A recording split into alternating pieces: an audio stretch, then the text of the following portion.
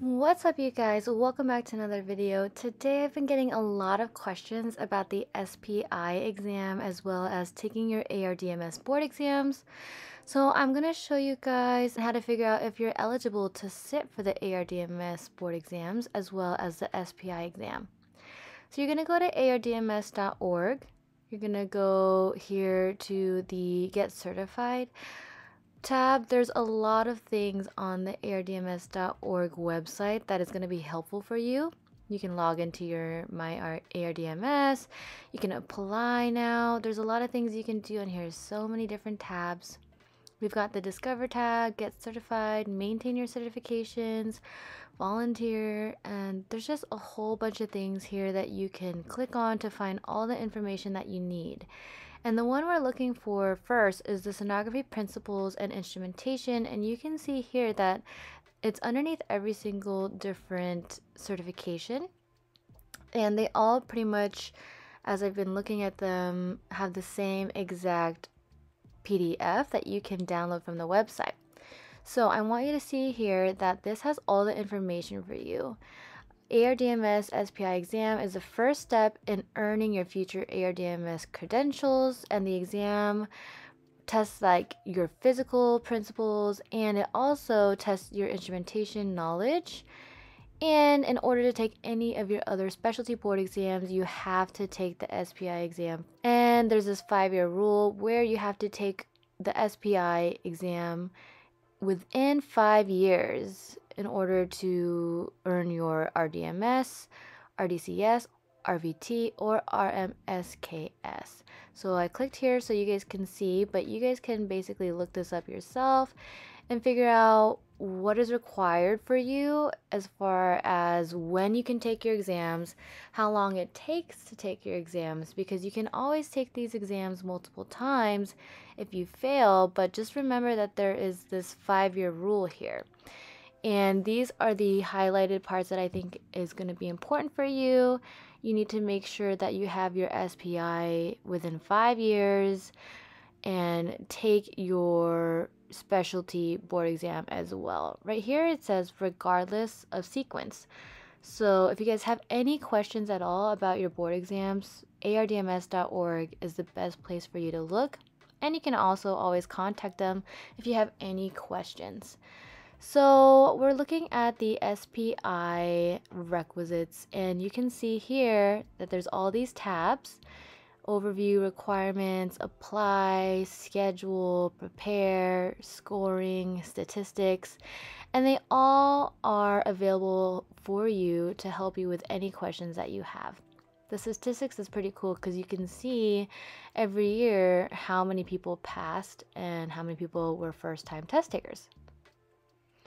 So this information is really helpful for you, especially when you're about to take your exams. Now you want to go to the requirements and you want to see here, and it says that the SPI exam is the first exam that you're going to apply for, especially for new grads or people in school, this is going to be important for you because SPI, like I said, is the very first requirement that you're going to need to take in order to sit for your specialty board exams.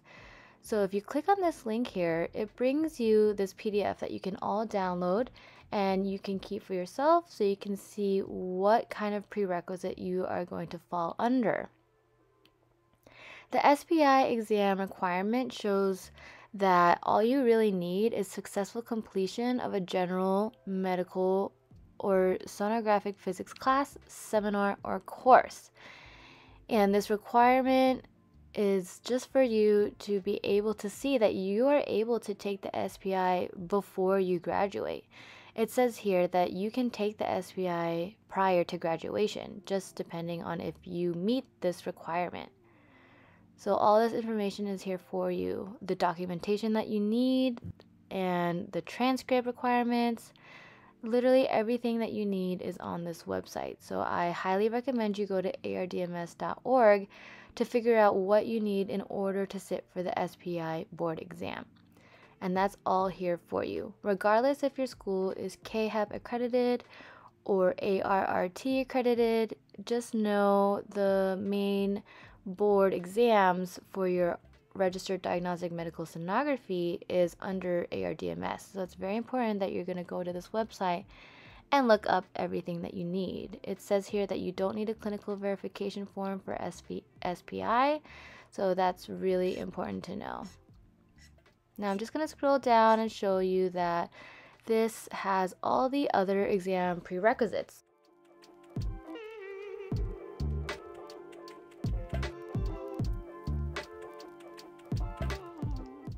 This shows you that you can also apply to any of the ARDMS registries and how you can apply and what prerequisite you fall under.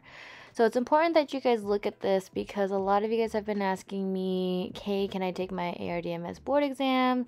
When can I take the board exam?" And it all just depends exactly on what your prerequisites are and if you fall into a two year allied health education program, if you fall into a CAAHEP program, if you already have a bachelor's degree.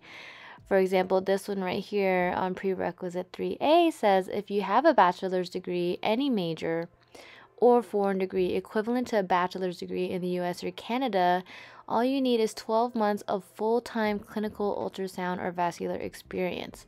So, on top of that, you're going to have to include all your documentation. So, the copy of your bachelor's degree or a letter from a supervising physician, and an ARDMS registered sonographer, technologist, or an educational program director with all these requirements. So, there's just a bunch of different prerequisites that you guys could potentially fall under, and it's important for you guys to look up this information. I'm getting so many people asking me certain things, and I wanted to make a video to show you that this has all your answers for you because each one of your situations is different from each other, and this goes to show that if you go to CAAHEP, if you go towards a non accredited school, you have to really talk to your advisors, talk to your clinical lab instructors, or even people who went to that school prior to you. Ask them how they were able to sit for SPI, ask them what it took for them to take their board exams and their specialty board registries, and that should be able to help you. Now, there's so much on here on this website that'll be able to answer any of the questions that you have. And I'm happy to answer, you know, your guys' questions, but this is just something that I feel like has been repeatedly asked. And I think that you going to this ardms.org website will really help you figure out okay, what's the next step for me to take SPI? what's the next step for me to get my specialty board exams and become a registered diagnostic medical sonographer. And it's all right here for you. Now, I can't tell you if you should go to non accredited school or an accredited school, and that is just something you have to do your research on and see if that school will allow you to sit for your SPI board exam as well as the ARDMS specialty board exams some people who are underneath the ARRT accreditation, they have to work, I believe, for a year experience and then be able to sit for their ARDMS board exams. Don't quote me on that, but I do know with ARRT, it usually takes a little bit longer for them to become registered. So if any of you guys did do the ARRT route, please comment down below or anyone who has more information and just wants to share their experience with non accredited versus accredited schools, comment down below so we all can hear what your experience was like and you can potentially help further students in the future and for them to make decisions for themselves. Everyone's experience is different, so I want you guys to know that you need to figure out the questions that you need to ask, especially to the program directors. And I just want you guys to see that the ardms.org has everything here for you written out. So I'm looking at the abdomen registry website, and if I click on it, it's all the same thing. All the requirements have the same PDF. And this is definitely going to help you guys when it comes to choosing what board exam you're going to take and what you need to apply to take these board exams.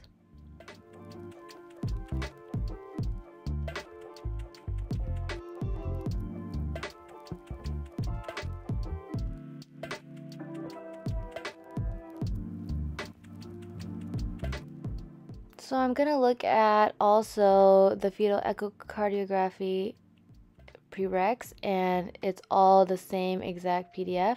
So I just wanted you guys to see that every single one of them it's pretty much the same PDF. You just have to make sure you hold on to this PDF, download it, save it, make sure you understand it, and it shows you how to choose your prerequisite in order to be eligible to take your board exams.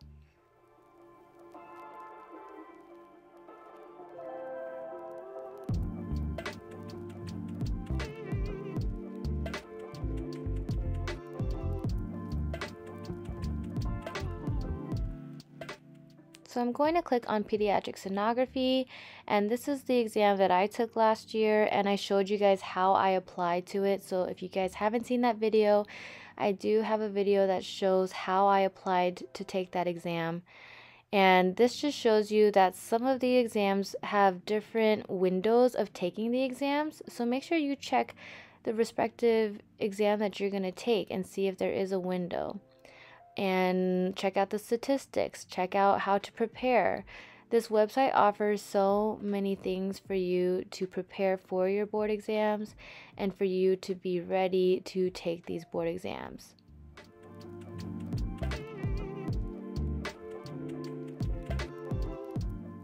You can see that there's so much here on the website. You can find whatever you need you can even check out your CMEs on here, how to renew your credentials.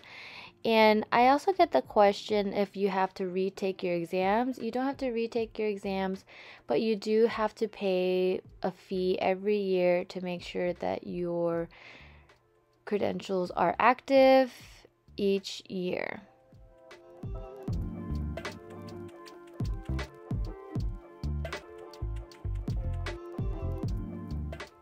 I absolutely love this website because it even has all of the content outlines for each of the board exams and you can find them here. It tells you what you can expect is on the exam and how much of a percentage of that is on the exam. There's even study materials, tips, and practice tests on this website, so definitely check it out and go ahead and just look around the website, see what there is to offer because there's so many things that I didn't even know back in the day when I was first taking my exams were on here and so this is going to be a really big help for you when you are getting ready to take your board exams. I hope you guys found this helpful. This is just a little video that shows you how you can apply and be prepared to take your board exams. Remember that your SPI is usually the first exam that you take while you're in school or after you graduate. And then your follow up exam will be your specialty board exam, whether it be abdomen, OBGYN, breast, fetal echo, adult echo, musculoskeletal, pediatric, pediatric sonography, or pediatric echo, and vascular. So, all of this information is here out in the open for you guys to go ahead and take a look at. Make sure before you choose your school, you talk to them about SPI.